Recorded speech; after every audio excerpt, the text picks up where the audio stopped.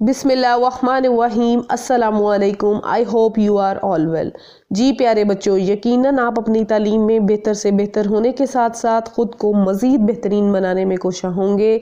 आज मैं एक नई टॉपिक और एक नई वीडियो के साथ हाजिर।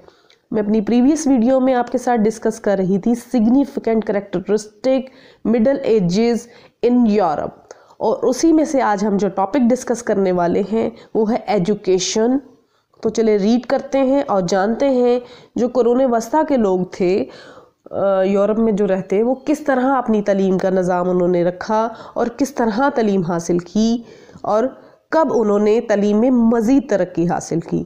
तो चले रीड करते हैं और जानते हैं।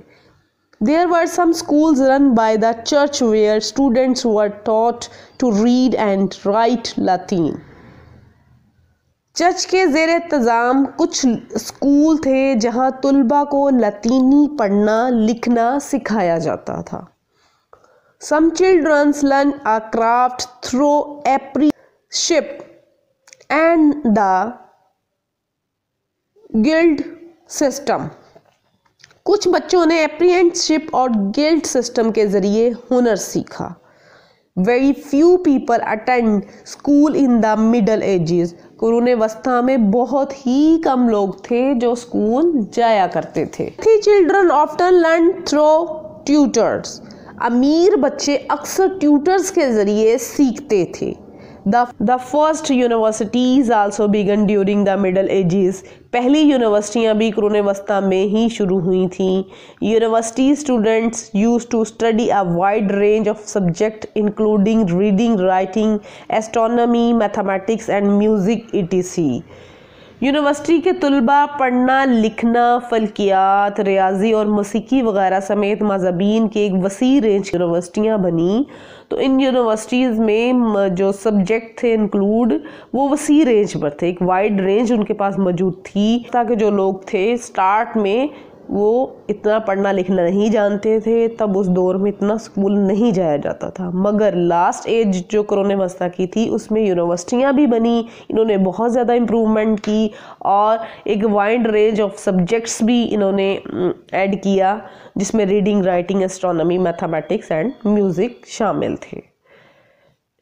जी अब हम इनकी इन्वेंशंस के बारे में डिस्कशन करते हैं। और देखते हैं कि इन्होंने क्या क्या चीज़ें करून वस्ता के दौर में ईजाद की थी। Inventions ईजादात a number of very important inventions were made in medieval time such as करून वस्ता के ज़माने में बहुत सी अहम ईजादात हुई, जैसे पिनिंग व्हील चरखी कपास कंपस प्रिंटिंग प्रेस छापा खाना आई ग्लासेस चश्मा गन पाउडर और ट्रेडमिल और ट्रेडमिल और बारूद गन पाउडर बारूद वगैरह इन लोगों ने इन्वेंशन कर ली थी अपने करुण वस्ता के दौर में।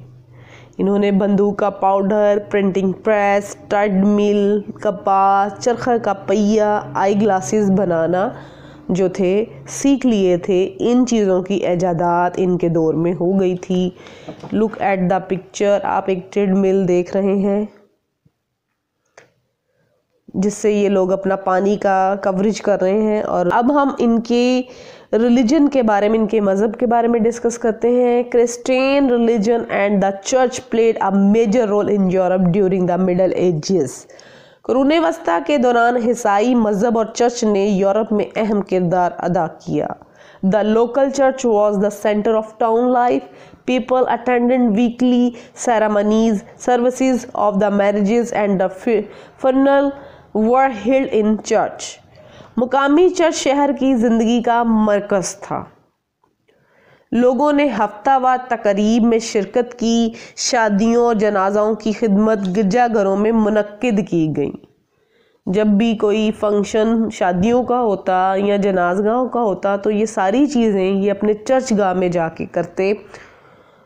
इसकी सारी खदमात जो हैं, वो चर्च में करते। तो जो यूरोपियन सिविलाइजेशन थी, यूरोपियंस जो मिडल एजेस थे, इनकी मज़हब की मुकामी जगह चर्च थी और चर्च में ही ये हफ्तावार तकरीब करते थे और आई होप सो आज के टॉपिक की आपको अच्छे से समझ आ गई होगी। अगर आपको वीडियो अच्छी लगे तो लाइक कीजिए शेयर कीजिए और कमेंट की सूरत में अपनी आरा से ज़रूर आगाह कीजिएगा। मिलते हैं नेक्स्ट वीडियो में एक नए इंटरेस्टिंग टॉपिक के साथ। अल्लाह हाफिज़।